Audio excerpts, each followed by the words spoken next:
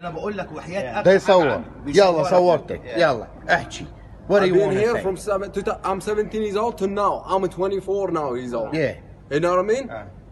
They're locking me. They give me hard time. You know that's enough. You know what I mean? For how long I gonna be staying here? Can you come with For me? how long? Me and Phil. And they take me away Yeah, from he Sydney. wanna I have record to listen you. He physically, said, I wanna physically. You talk, know what I I'm mean? not moving Come until on. you record اوكي خلاص But I يلا didn't عشان record خاطري anyone. انا I وحياه didn't ربنا record. nobody touch him nobody touch No, him no, I'm not. Yeah. Uh, Good, good morning, uh, good afternoon. This is Ali from PIDC Detention Center. So as you can see, the result of out of detainee being Mohammed being seven years in detention center, he has been suffering from mental health issues.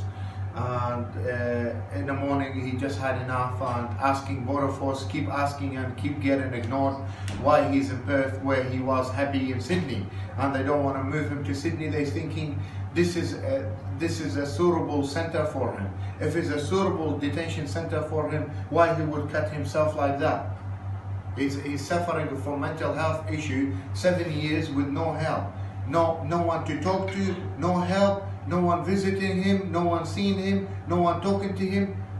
How, how is be he will be living a good life when actually uh, people giving him hard time on Serco and Border Force not helping him or HMS helping him and talking to him.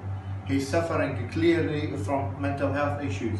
He cut himself everywhere today in the morning to actually just had enough. He had it. He had enough of being mistreated like that, and luckily we we tried to take him out of his mood, and we talked to him, and we took the razor blade away from him, and uh, the HMS gave him some bandages and sent him back here, which is as you can see. After all that, they bring him back after half an hour with no help, with nothing, no attention, with nothing like someone just suicide after his suicide they bring him back to the detention hours nothing happened after exactly half an hour. How is that telling me going to fix the situation? So if he do anything now who's going to stop him us we have to look after him because HMS and Serco and Border Force not doing the right thing, not looking after him. And they will say, oh, why this guy die? We were looking after him. Why this guy kill himself? We were looking after him. No one looking after no one. No one talking to him. He's by himself, lonely.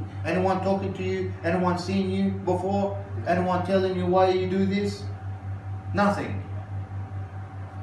And that's why we need help. We need full investigation against Border Force, against Serco, and against IHMS inside Perth Detention Center. This is in PIDC, and I'm talking about as well exactly th- same things will happen in Yongah Hill. Perth, both of them need to be stopped. Making detainees doing that need to be give them the proper help they need, give them the proper Medicare and mental health they need all I all I have to say now. And thank you. And it's good now he's safe, and uh, we will try to talk to him and try to fix the issue. Uh, please, if you can, share our video and help him. Thank you very much.